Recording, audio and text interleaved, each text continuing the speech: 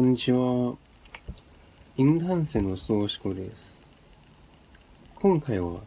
設立からわずか8年間で、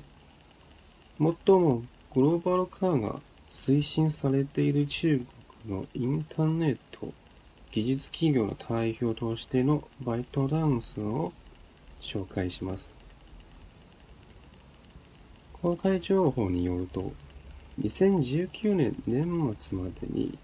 バイトダンス製品のグローバルな月間アクティブユーザー数は10億億超え、150の国と地域、75の言語をカバーし、40を超える国と地域の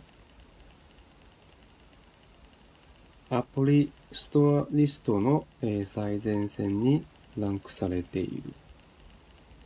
バイトダンスが今は TikTok、ラック、ヘロなどグローバルな影響力を持つ様々な製品を所有している。その中でも最も身近な分野として短い動画はバイトダンスのエクシステムの中に非常に重要な部分と位置づけられる。実はその歴史は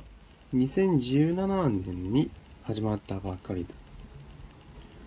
当年の2月、バイトダンスはアメリカの自害動画アプリである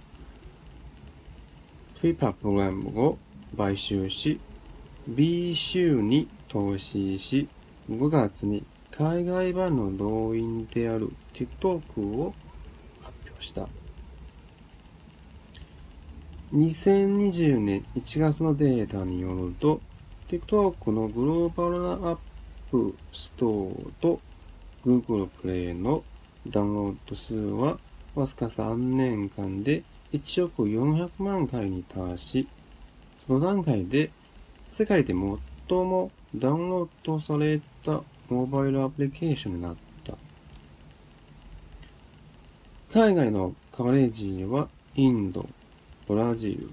アメリカなどの人口や経済大国が含まれる。バイトダンスは設立以来の8年間でインターネット技術のユニコーン企業まで成長し、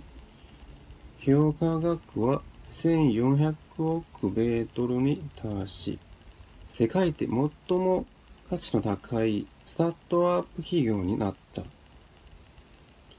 それ以前は、テンソンとの救急、ウチャート、リバーバーンのタオバオ、アリーペのいずれであろうと中国の海外企業はこのように世界を席巻した頃はなかった。しかし、グローバルな急展開の中に、バイトレンスがアメリカやインドを中心とした海外政府や IT 企業は、情報セキュリティや文化輸出などの問題によって、いろいろ警戒したり、規制したりされることになった。特に2019年後半に2回で米国上院の審理に至った後、バイトダンスに対しての世界的な抑圧が始まった。その中でも、2020年からトランプ政権からの規制により、バイトダンスの米国会社は買収計画にも直面せざるを得なくなった。それに対しても、バイトダンスは2020年以降、ゲームやコラボオフィスなどの新規エリアを中心に、日本やインドなどの重要市場に開発計画も徐々に拡大している。今は中国のインターネット技術企業の海外進出のバイオニアとして、これからバイトダンスが引き継ぎ消費者のニーズに応えた上で、関連分野に期待を寄せつけることができると信じています。以上です。ありがとうございました。